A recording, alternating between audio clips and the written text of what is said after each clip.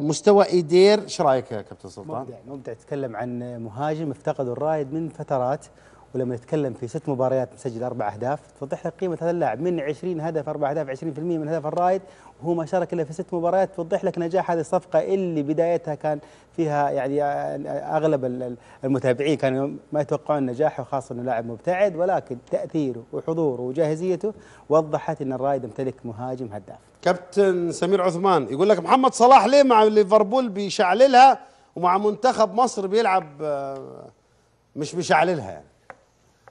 لا أنا هقول لك كابتن هو محمد صلاح طبعا بيبقى ليه دور تكتيكي مع منتخب مصر والدليل على كده الناس بيقارنوا هو بيجيب اجوال في ماتشات ليفربول بس مع المنتخب لا في أما بيلعب في مصر بيبقى فيه اتنين ماسكينه أصلا الوقت كله أما بيبقى فيه اتنين ماسكينه بيدي فرصة للمهاجم اللي قصاده هو يقدر يستلم ويحرز الأهداف. بس طبعا أتمنى إن شاء الله يبقى في ظهور أفضل إن شاء الله في الأدوار اللي جاية إن شاء الله اللي هتبقى في مارس بإذن الله.